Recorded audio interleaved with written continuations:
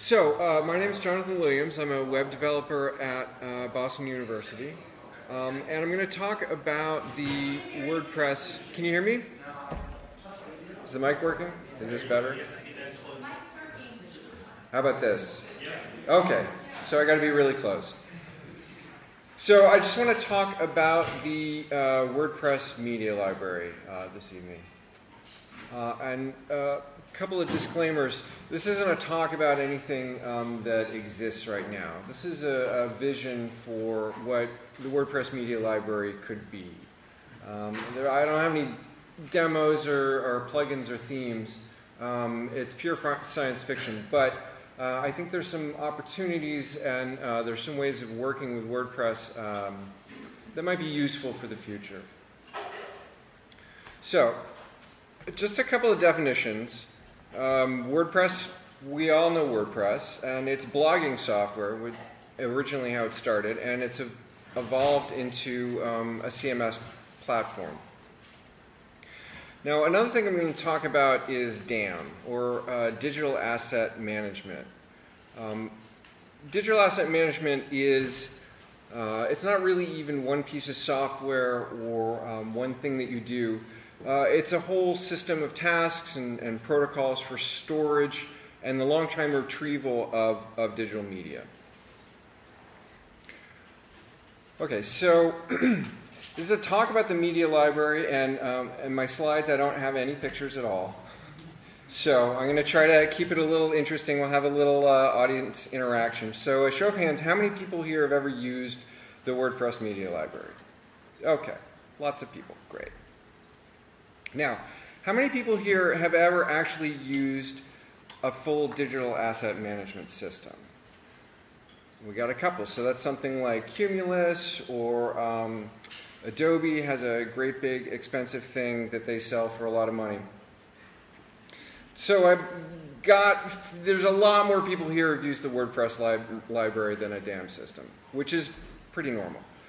Now, how many people here have grabbed a PDF from the media library, from the WordPress media library and sent it to somebody who was looking for it? A couple of people. Um, how many people have used a picture from the media library in some other context? That's some more people. And how many people have ever thought to yourself, wow, I'm really glad that, I, that this file is in the media library. I know I have it somewhere, there's an original, uh, but hey, great, it's in the media library. So that's a few people. So now another show of hands. Now how many of you used a digital asset management system? Maybe a few more. Um, so do we manage digital assets? All of us do all the damn time. So my theory is that you and lots of other people have probably already been using WordPress as a kind of rudimentary digital asset management system.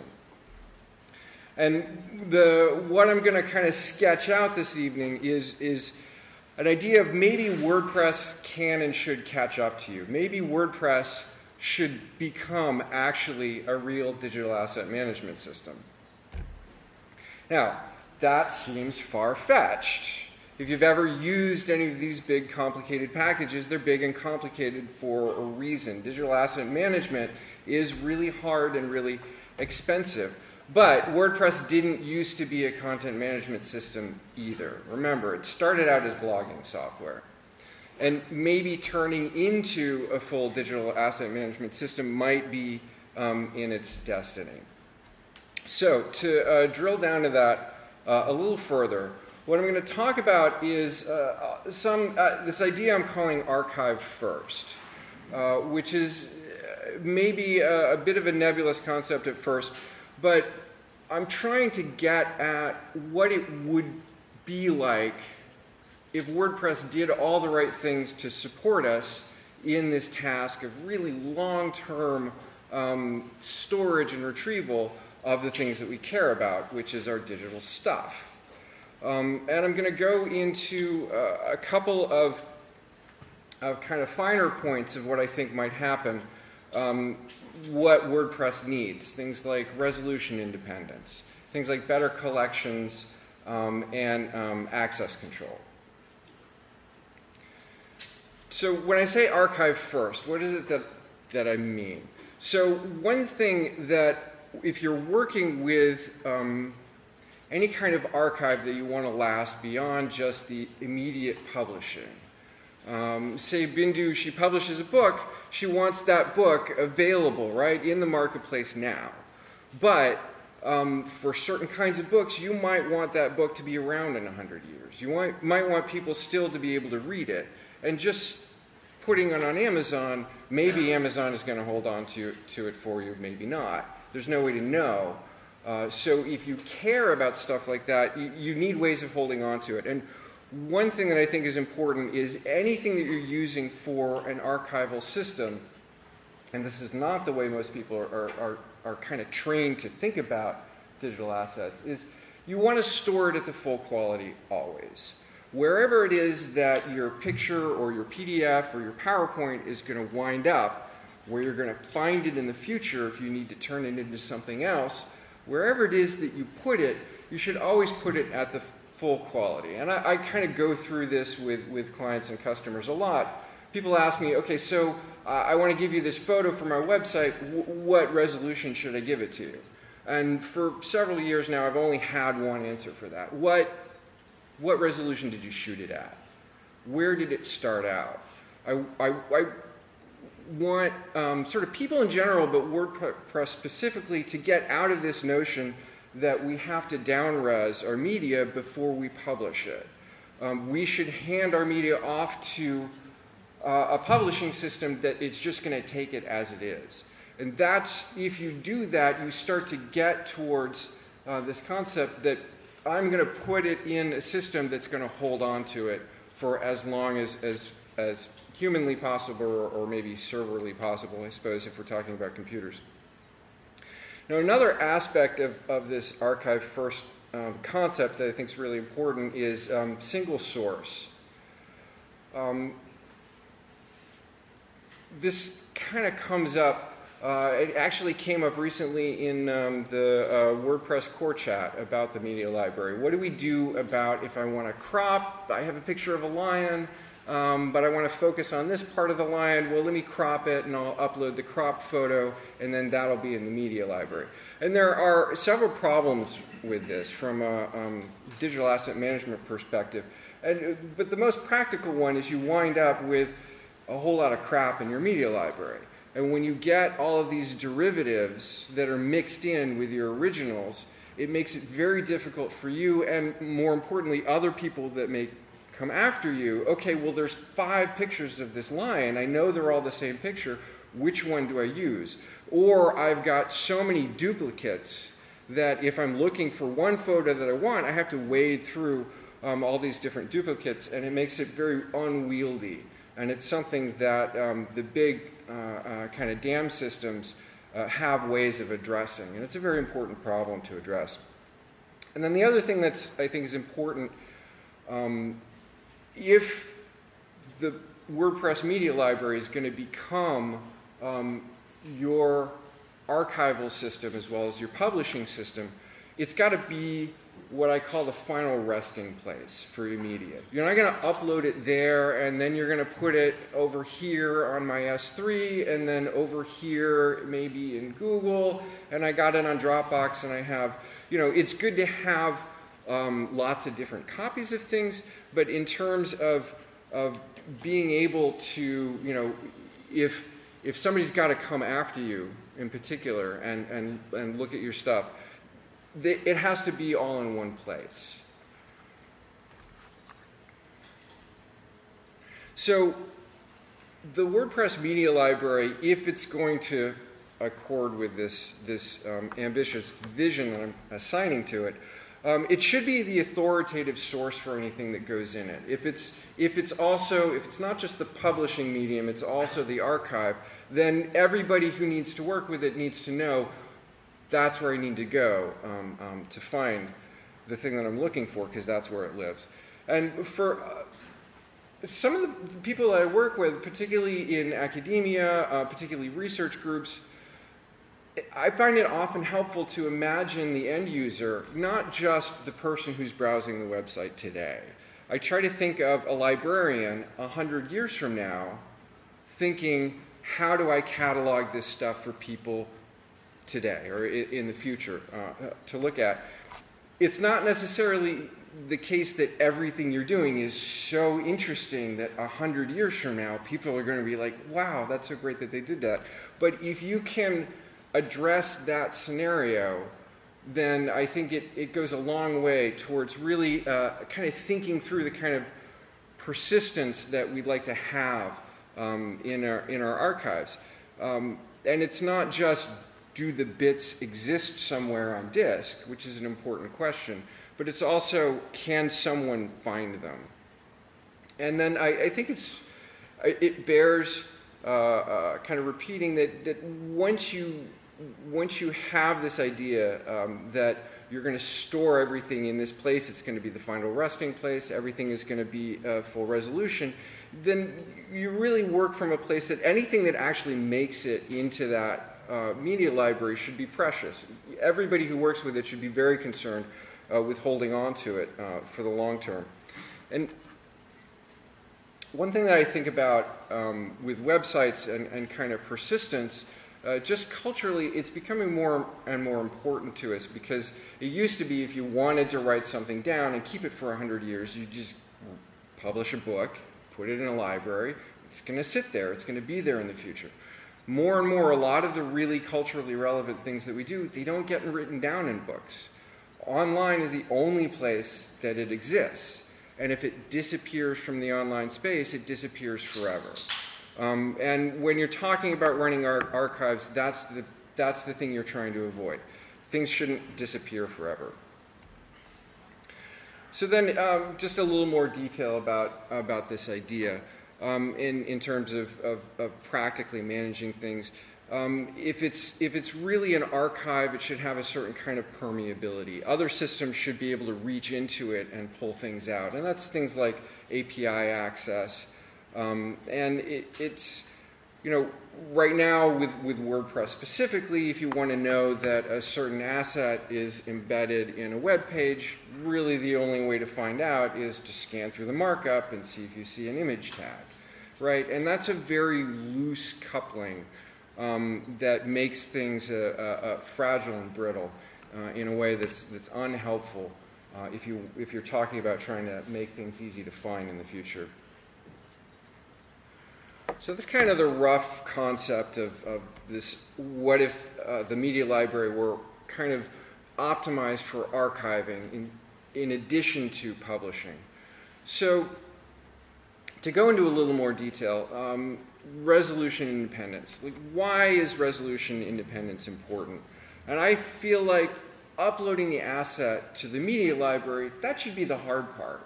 If you got your PDF, your picture, whatever it is you care about, if you got it all the way up to the server, you shouldn't have to think about it much more beyond that. That should be the hard part. What resolution should it be displayed at?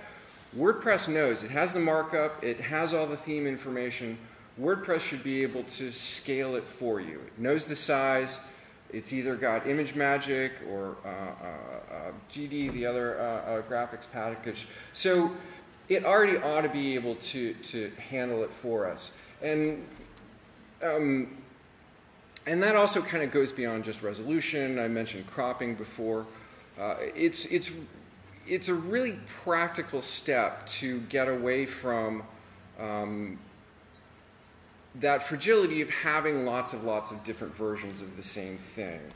Uh, and it, it really once WordPress knows what size things should be uh, and has some intelligence about it, then um, you get to have a, a tighter coupling uh, between the asset as it exists in the media library and where it appears, all the other places that it's in your, in your website. So then I wanted to mention um, this idea of collections which is a very uh, kind of powerful uh, concept often in, when you're talking about things like Cumulus and the other large scale um, asset management systems, because things like Cumulus, you might be a Fortune 500 company and you might have literally a million pictures that you're tracking. Uh, and you don't want to have to wade through every single picture. You need to work with them in collections. And the first uh, example of that that I think is really important, obviously, for WordPress is things like image galleries, which we can do now. They exist, but I feel are, are, a little kind of ad hoc because WordPress isn't really good. You know, typing in a short code and saying, well, picture 5, 7, 963, and 247, they're all in my image gallery. I can't really search for that. I can't say, show me all the slideshows that have the lion picture in them, right? It's, it's, it's not a strong enough way of, of, of expressing how assets are related to each other.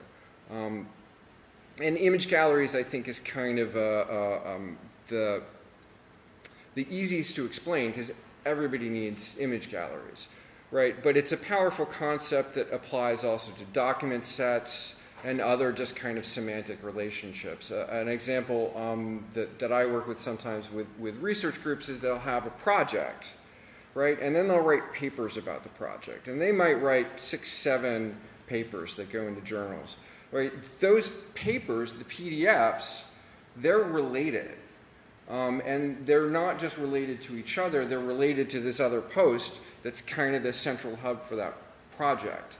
Um, WordPress doesn't really have the best way of expressing those relationships right now. You have taxonomies, and if you're clever and you install some plugins and you leverage some stuff that's in core that isn't really exposed anywhere, um, you can assign taxonomies to images, which is a start. Um, but it's not really codified. It's, it's still kind of this, this hidden feature in a way. Um, and it, it, it doesn't really, it's, it's still you're using tax, the taxonomy system that's designed for posts. It doesn't have a way of expressing, well, if you're going to show one of these pictures, you should invoke some JavaScript and build an image gallery and help people browse through them. So the, this concept of collections is really about um, relationships. Um, and the relationships need to be explicit at the system level. Just scanning through markup and being able to see, oh, I find this image tag here, um, you know, that's certainly something that you can do, but I think for this, this archiving idea, um, it's, it's, it's not explicit enough. Uh, and a powerful concept that I found out about when I first started talking to librarians about these kinds of things. It turns out librarians have this concept called finding aids. I'd never heard of it before, but it turns out it's the primary way that a librarian, particularly now that librarians are actually starting to grapple with digital media, um, you have a collection of stuff. Some student is interested in that topic and says, I hear the library has a collection of detailed bio, biological renderings of frogs, right? Or some kind of research archive. You need something that's going to help the librarian actually point the researcher to the thing that they're looking for. So finding aid is any kind of metadata that you have about an asset or a thing that's part of your collection that helps somebody who cares about it find it. Um, and those kinds of, of, of, finding aids are often expressed through these kinds of relationships, not just what is the thing, but what else is it related to. So then another thing I want to touch on um, uh, briefly, because it, it, it, came up when I rehearsed this talk, is uh, access control.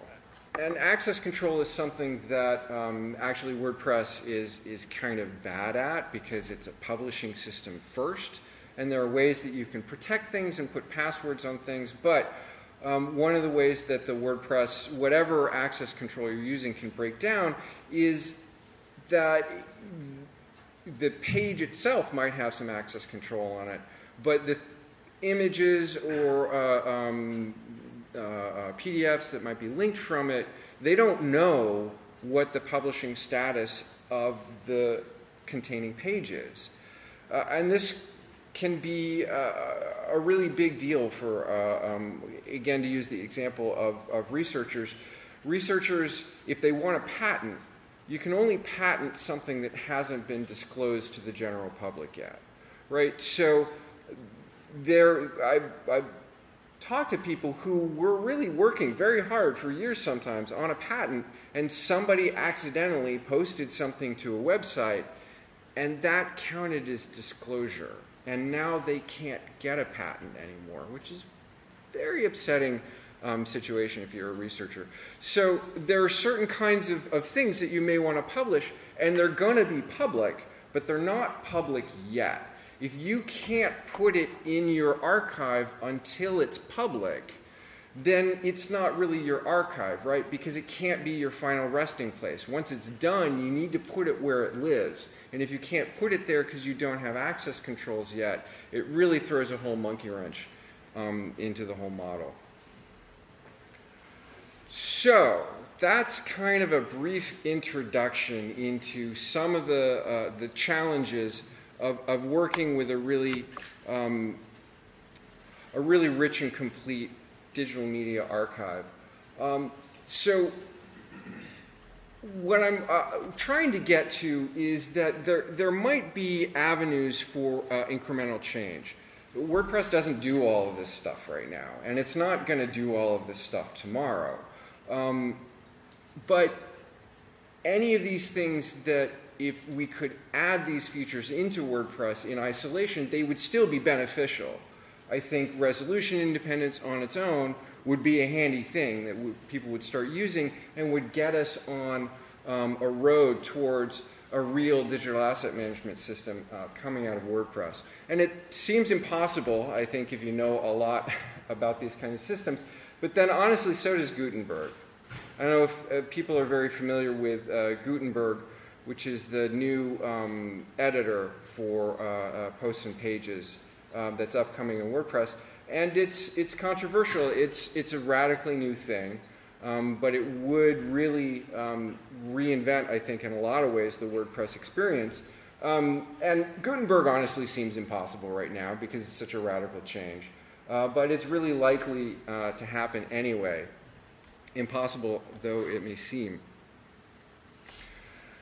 So, in conclusion, I just want to say the media, less, the, the media library is pretty good. I'm not, I'm not anti uh, media library here.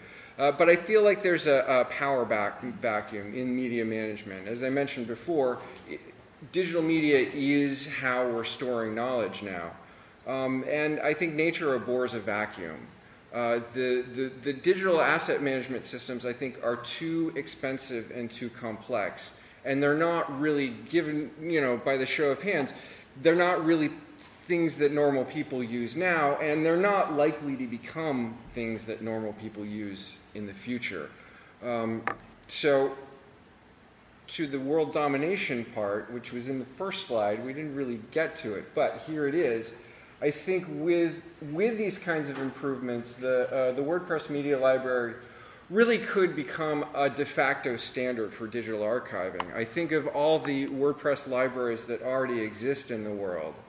Um, and all of the assets that people do care a lot about that are already actually in a WordPress media library.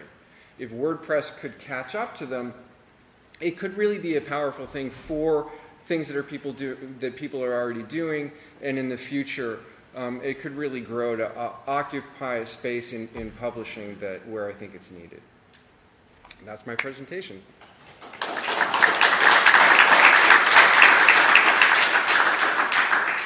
So be happy to take any questions that you might have. Yes? If nature abhors a vacuum, how come this hasn't already happened? That's an excellent question. Um, and honestly, I would argue the reason why it hasn't happened is because people like me who are kind of geeky about this stuff haven't agitated for it. Right? There's not a lot of people who are thinking about that librarian 100 years in the future. That's not a common thing. I'm perfectly comfortable with it because that's how I've been working for years. But I understand that that's not that's not how people are, are conditioned to think about this stuff. So that's why I didn't have any plugins or, or, or, or demos because I don't think we're kind of at this point. I think that it would take a shift in people's thinking away from oh I have this thing and I need to I need to publish it so I'm going to put it on WordPress a shift in thinking towards I have this thing that I care about, it's going to live in WordPress, and I'm going to publish it from there. Does that make sense? Is that a really good question, way? Maybe just to add a follow-up to that, the other reason why a lot of media improvements around WordPress tend to feel kind of slow is that actually the code of the media library, despite being very advanced in what it does, is something that's understood only by a very small group of people. So if you're interested in improving the media library and want to help be a part of the work to improve what we provide in core and make the foundation for building this type of system better, um, I would encourage you to um, come to contributor days at WordCamps or to get in touch with some of the people in the local community who contribute to WordPress core. We can see whether we can make it better. Yeah, that's a good point. I'm going to try to follow that excellent advice. And uh, if anybody's already on the uh, the WordPress core Slack channel, I, I recommend dropping by the uh, the core media channel. Everybody's very friendly there, uh, and I'm sure they'd be happy to hear from you. Yes, sir. One of the best models that I've seen people use, and probably because the risk is highest, are when companies create branding guidelines and they organize them in a very specific way, usually because if someone doesn't follow the branding guidelines, your company is a mess. But I've also seen the opposite, where somebody just has file folders and they throw a version of a logo and there's a low res one and put it on a magazine and it's terrible. All those kinds of things that you've talked about. So, do you have any other sort of examples, you know, best practices or industries? I mean, you're at Boston University. Yes. Yeah. Um, I. Yeah, it's a tough question because I think in part we're we're only at the dawn of the printed page not being the archive source anymore. I feel like that transition happened um, and it happened very decisively it, because it's not just words anymore. Like a lot of things that used to you would have to write it down are now on video. Okay, and you would have to even when we had video, you'd have to broadcast it, and unless you had sophisticated recording equipment, it's gone forever. But now it's easy to make a video. It's easy to publish a video. Um, and that video may be the thing that, that contains what anybody would ever want to know about it, and it's not going to get written down. Uh, I think part of the part of the challenge is um, the culture hasn't caught up to that yet. People aren't thinking about, um, and I, not to go on too too long, but this is a really interesting question to me. I think about the Library of Alexandria. That's kind of what I think about in terms of losing critical human knowledge. There was a library in Alexandria, Egypt, about 300 AD. It was where most of the books in the world were kept, and it burned down. And we lost all that stuff. There's all kinds of human knowledge that we used to know that we didn't. Um, and the internet's not very secure. Computers aren't very good at listening to the people they're supposed to be listening to. All kinds of people can hijack all kinds of networks and tell them to do something bad. So I worry about a Library of Alexandria event happening on the on the modern internet. Honestly, is that a is that a good answer? Yeah. Definitely, and I guess just to kind of follow up, so branding guidelines, and then another area where I don't think the world's kind of caught up yet is the transition from physical film to digital images. So where a normal human or family had maybe, you know, a photo album, now you have ten thousand pictures, you know, in your iPhone, makes a million every day. Yeah. Your iPhone fails, and your whole files, you know,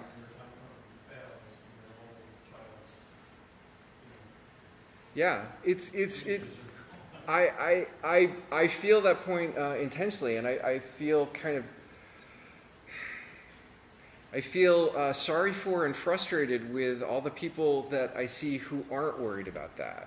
Um, You know, they're starting to say, oh, but it's in the cloud. But then what is the cloud? Right. Where do you find it? And- and-. An excellent point. And when I've talked about this, uh, um, uh, this kind of archive first idea, uh, one of the uh, uh, one piece of feedback that I got was very interesting. Was like, well, how do you back that up? If everything is full resolution in your in your media library, how do you back up your media library? It's going to get unwieldy and large. Um, and I do think that um, uh, I went to an AWS training once, and the trainer said, um, "Friends don't friend let friends build data centers," uh, which really kind of summed up the whole cloud thing that I hadn't gotten until I, I, I heard that. I think that um, we are going to have to rely on other people to build these data centers um, that are going to store all our stuff for us, but we can't necessarily rely on them not to screw any of it up.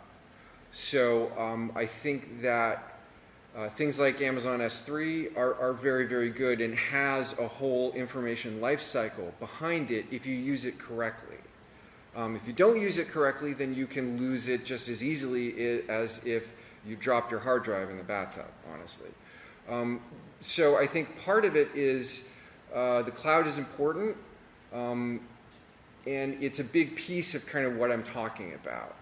Uh, because you can't treat WordPress as your thing that stores everything unless you have some storage mechanism that's reliable and consistent that can actually just take everything.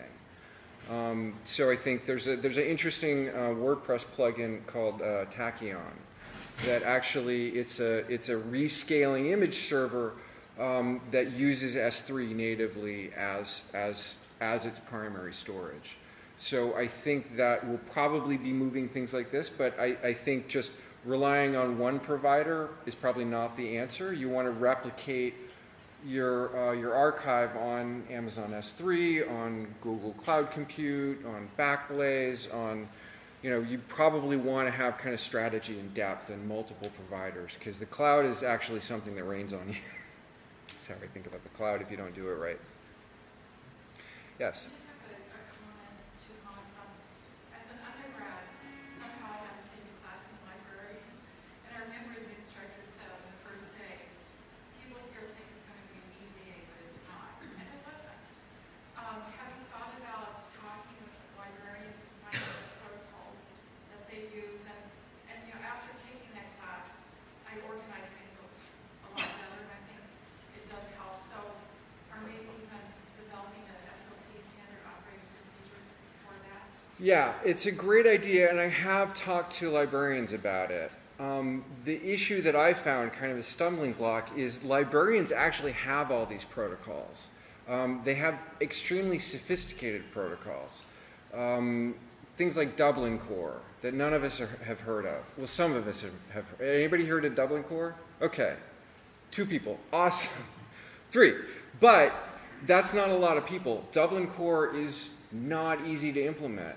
Uh, I, I, you know, I, I've had some fascinating meetings with some brilliant librarians, and I'm like, great, let's find a way to put all your stuff in, in, in, in your systems, in your library systems. But the, the library systems for doing this, they started out in the 90s because librarians have extremely long time frames, and they don't know how to implement it all yet. They're, the libraries are working with software that, in a way, is kind of even more complicated than the commercial digital asset management systems. So I think librarians have a really uh, strong role to play, and they really should have a seat at the table. I feel like um, some of these decisions we should have actually more librarians involved directly. Uh, but right now, they don't have an easy way. It's not like there's a plugin for WordPress that says make my media library something a librarian would be into. But I think we need something like that. Then my other points are, I was glad you brought that up about the disclosing intellectual property. And, um, I'm actually here with the patent attorney, and, and that's something that, you know, people think that, oh, we'll never go out, we're friends, or whatever. Or it's, um, I'm disclosing to a bunch of scholars and peers, but it can't go out, and then people really uh, lose their ability to make money. So, um, and lose international rights, so thanks for bringing that up. Oh, you're welcome. I'll bring it up as many times as anybody will let me because it's one of those I feel a little damaged in a way as like a WordPress user because I've had to I've had to go through that with people and it's more than just patents. There there are lots of ways in which you have something that you want to publish but you can't publish it now or it can't be available in certain kinds of ways but you still want to hold on to it.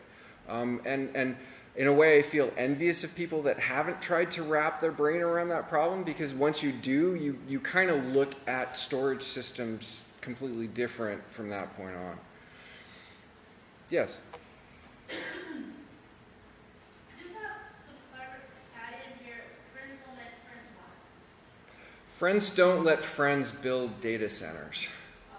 Um, um, and then I have another clarification, what, uh, finding aids, how's that different from, uh, like those keywords that you put? Because I built some WordPress sites. Yeah, It seemed like those keywords would find something. Yeah, no, it's it's it's a good point and it's a good question. I would say that um, a keyword is a finding aid, um, but just having a keyword in comparison to what a librarian would consider a real finding aid is kind of like a bicycle versus a Ferrari. So what, what would the library consider finding aids? I don't know what that is. Yeah, yeah. I'm I'm kind of still grappling with that too because that finding aid concept is still kind of tied to physical collections. It's it's ways that library has and libraries store more than just books. You know, they have you know collections of of um, uh, butterflies and archaeological artifacts and um, so. I, I'm I'm still trying to figure that out. What the heck is a finding aid? But it's something that my my kind of quick and dirty definition is a finding aid is anything that doesn't make a librarian cringe when you explain how they're going to find stuff in your system, which probably isn't the the most complete answer, but.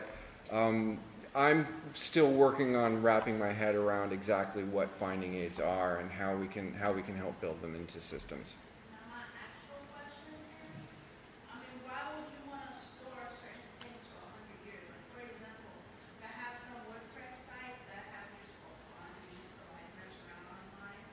And, uh, a lot of the media that I got on there, that is free media, that's not copyrighted, like people put their pictures in there for people like me to use for free. And I don't want to keep that stuff for a hundred years, I just supposed to make them just to make fun online. Why would you want to have a, a DAM for a hundred years? So, uh, some of the people that I talk to that, that care about that specifically um, are uh, academic researchers.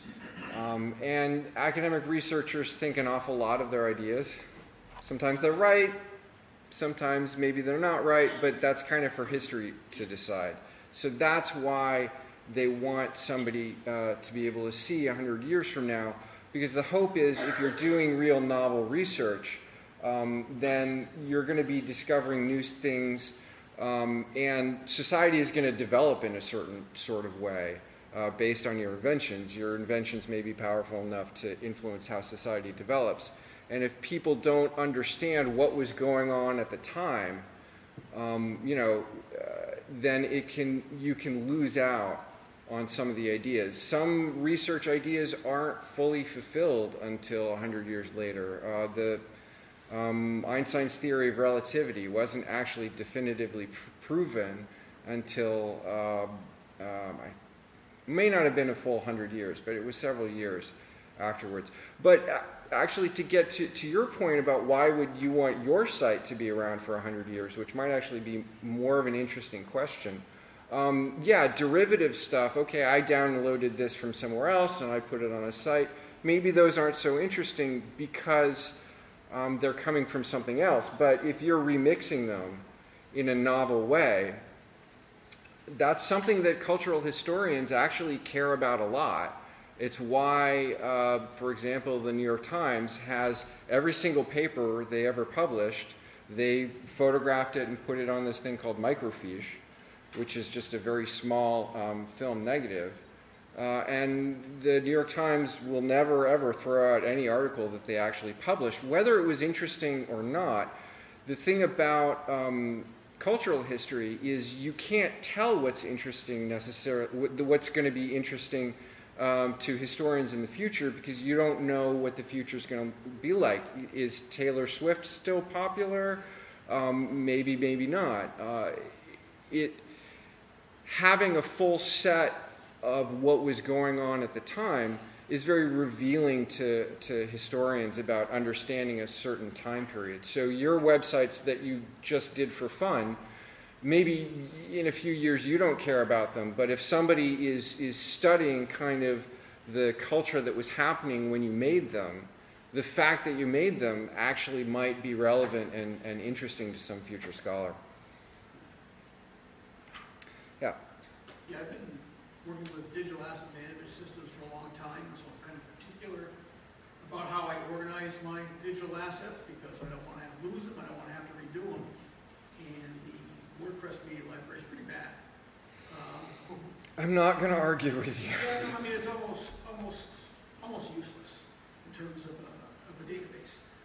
so there is a plugin that I use called WP Media Library, which lets you organize images uh, in groups or by topic or by subject. hmm Uh, It's helped me out quite a bit. Uh, But a good digital asset management system that's open source is called Resource Space. Yes. And it's something that would probably cost you fifty thousand dollars if you had to, had to buy it. But again, it is complex, it's not easy to set up, and uh, you have to have a need for it. Yeah, no, I actually, this is a true story. I had somebody say, hey, I want to hire you to build on the Resource Space API. And I'm going to build a website and it's going to hook up to the Resource Space's API. So I went and dug through the documentation where it said Resource Space API. It turns out that document isn't a document of the Resource Space API. It's a document, hey, if you were going to build an API, this is what how you would do it. So I had to say to that client, yes, I'm not bidding on your job. So I mean, resource spaces I think is a good example of something that yeah, it exists now, but it would probably take you at least fifty thousand dollars to get it set up. Not because the software itself is expensive, but just teaching everybody what the heck it does and why the heck it works in the way that it that it does is a significant undertaking. So, um, but it, I believe it's also, you know, it's written in PHP, um, but it's loo- looking through the resource spaces uh, um, source code. If, if I were, if somebody said you have to turn WordPress into a DAM tomorrow, I don't think I would pick up resource spaces and be like, oh, I'm going to turn this into, into a plugin. I use it right out of the box, there's no, really no customization other, other than the front end, you know, doing with the theme. Uh, There's not too much to do to get it up and running. You know, it's open source, PHP, Sure, sure, but it it's if say Bindu here, we're like, okay, I'm gonna now store everything that I need to write my books um, in WordPress, and I'm gonna use resource spaces to do it. Well, that wouldn't really work, right? You have to choose one or the other. So it's.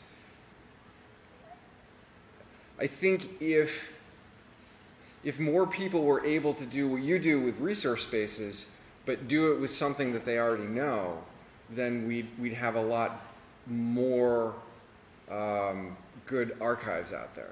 Does that make sense? Yeah, yeah, I mean, it, uh, I understand what you're, you're saying, uh, you know, the- the- these things have been around for twenty years or so. Right. You know, if you have a need for it, you kinda gotta use the right tool. Right, right. But they've, they've been around for 20 years, and I think Resource Space is a, is a good example because of its heritage. It hasn't changed that much since when it was designed, right? Which was several years ago. No, no, I've, I've had a, a site up for a few years now and, uh, getting ready to upgrade it. It's not, not fancy, it's not, you know, it's just a database, really. Right. Yeah, it is just a database, but then again, so is WordPress.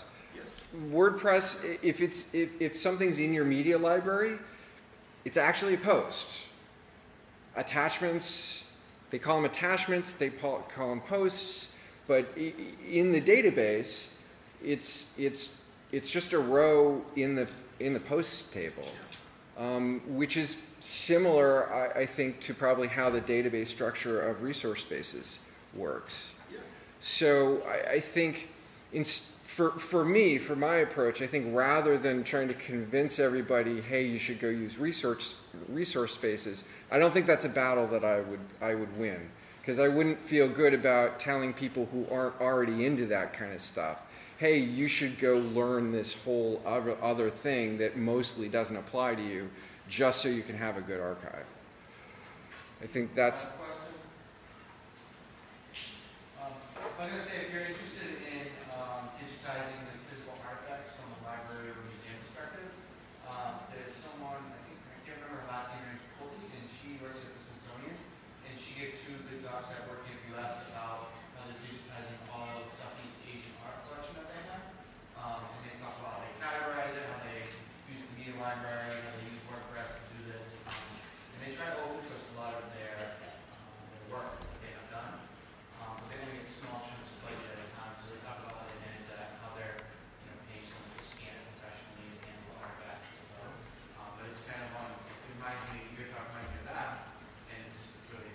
Yeah, yeah, yeah. A lot of these these projects they do get funded in a piecemeal fashion because there's not a lot of energy around. Hey, what does a really good archive look like, and how do we get something that librarians and normal people can both use at the same time?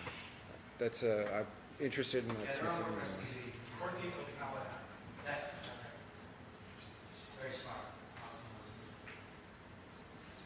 Well, I guess that was the last question. So thanks very much.